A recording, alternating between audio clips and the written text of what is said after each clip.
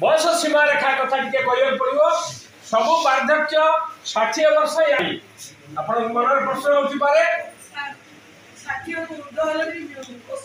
ଆଜ୍ଞା ସେ ପ୍ରଶ୍ନ ଉତ୍ତର କରିବା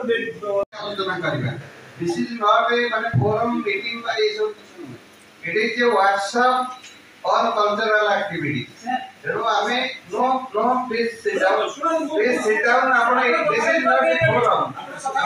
ଆମେ